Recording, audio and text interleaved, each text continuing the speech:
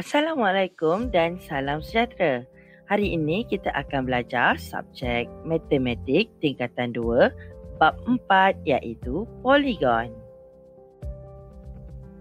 Standard kandungan 4.2 sudut pedalaman.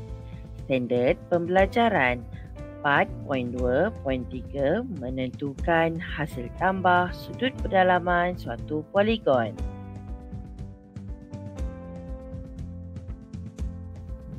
Rujuk gambar rajah, buku Braille, muka surat 28, buku bercetak, muka surat 62, terdapat segitiga yang mempunyai sudut A, B, C, X, Y dan Z.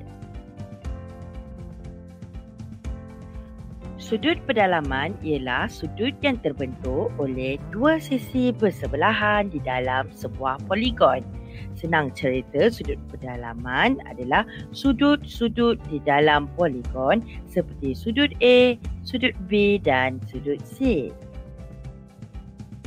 Hasil tambah sudut pedalaman ialah kita tambahkan setiap sudut pedalaman yang terdapat dalam suatu poligon. Contohnya, kita tambahkan sudut A, sudut B dan sudut C di dalam poligon itu. Formula hasil tambah sudut pedalaman ialah buka kurungan N tolak 2 tutup kurungan darab 180 darjah. N ialah bilangan sisi poligon. Contoh, hasil tambah sudut pedalaman pentagon iaitu 5 sisi. Gantikan nilai 5 di dalam N buka kurungan 5 tolak 2 tutup kurungan darab 180 darjah. Pastikan selesaikan dalam kurungan dahulu. Dalam kurungan 5 tolak 2 iaitu 3.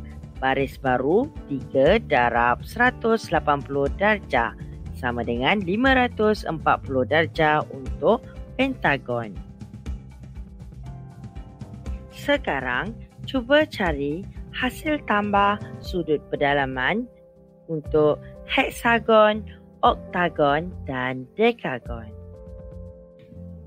Tahniah, anda telah berjaya menguasai cara mencari hasil tambah sudut pedalaman suatu poligon dengan menggunakan formula buka kurungan N tolak 2 tutup kurungan darab 180 darjah.